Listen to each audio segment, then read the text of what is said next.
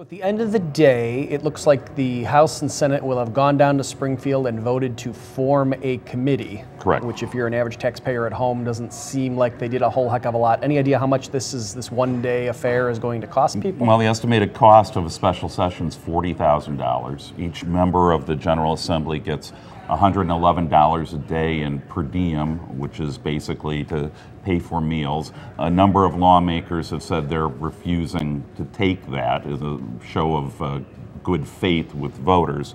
Uh, but the bottom line is, We've got House Speaker Michael Madigan saying that he's hopeful that this super committee can come up with a uh, a agreed upon concept sometime after the 4th of July, as, as early as uh, July 8th or 9th. And uh, to close, as we sit here now live, has anything happened down there today? Uh, other than the fact that I believe as the House was preparing to enter into session, uh, the fire alarms went off in the Capitol and they got evacuated. So that, that tells you about the fire drills that are getting run on the state's serious unfunded liability. So it's literally a fire drill down there today. Uh, yes, and uh, I'm not sure that all the lawmakers know where the exit doors can be found.